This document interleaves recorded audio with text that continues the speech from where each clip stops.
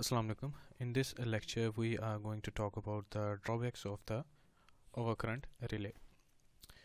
Now in the setting of the overcurrent relay without any directional element we only consider the magnitude of the fault current as a deciding factor whether the fault has occurred or not. But in the system we have uh, different type of faults we can have ground faults as well as phase faults. And the currents in all the types of faults are different. So we, but now as we have different type of fault currents and also the ZS the source impedance is also varying. It means we have different fault currents because of different faults as well as with respect to varying source impedance. So we are always worried about the security of the relay operation.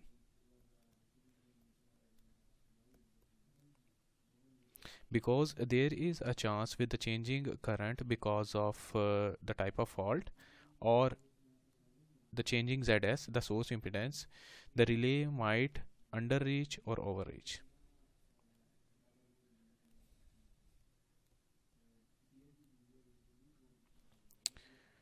let's take an example. We have a source then we have the source impedance and we are going to protect this feeder with overcurrent relay. And this ZS is varying why I am saying that this ZS is varying because we have to get power from different sources. Like we have one generator generator 1 that is closer to this feeder. The other one is generator 2 that is farther from this feeder. So this is the generator that is closer to the uh, the feeder and this is that is farther from the system from this particular feeder. So now when generator 1 is providing power to this feeder the ZS value will be smaller with respect to G2 the ZS value will be larger. So if you have some assumption and you have used generator 1 and you have used the minimum fault current value at this point and the maximum fault current value at this point and you have made the setting of the relay based on this maximum fault current value and the minimum fault current value and there is a fault in the center of the line.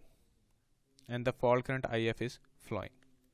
And the setting is already being made with respect to G1 but when the fault has occurred the feeder is being fed from generator number 2 so if it is fed from generator number 2 it means ZS has increased.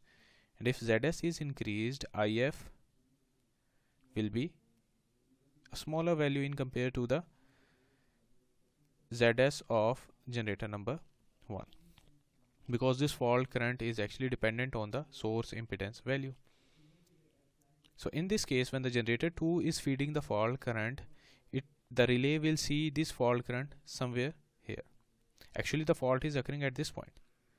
But due to the fault current value the relay will think that the fault has occurred at this so this is the under reach of the relay right? And similarly for the three phase fault for example if ZS is decreased three phase fault already have higher value with respect to the ground faults. So in that case the relay will think that the fault current is occurring in the adjacent feeder somewhere here. But we have to protect the feeder between these two buses. Right? So if I have to draw a graphical representation of this case we will take the operating time on y-axis and fault location on the x-axis. Right? And this will be the graph.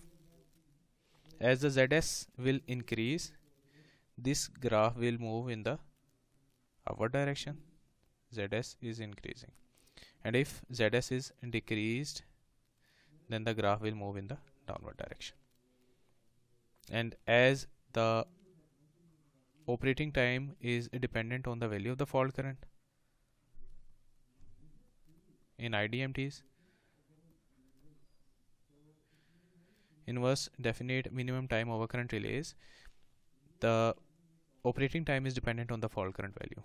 So if ZS is changing due to the changing generators then the fault current is actually changing. So the operating time is also changing so if ZS is increased the operating time will increase because the fault current is reduced.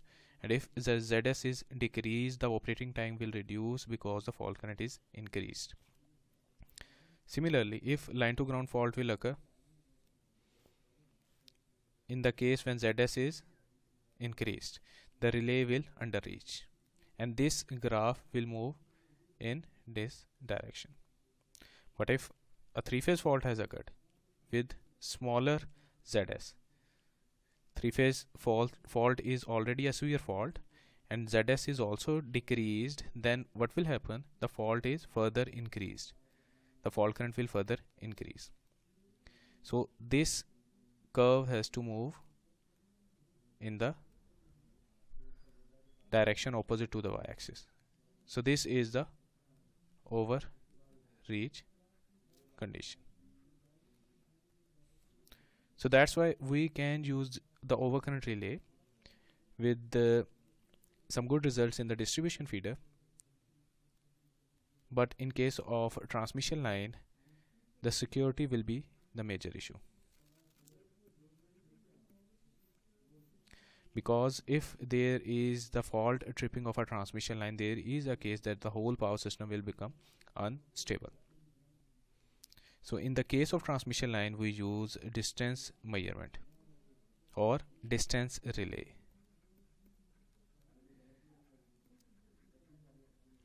So that distance relay will be used in the transmission line and we will discuss this distance relay in the coming lectures. Thank you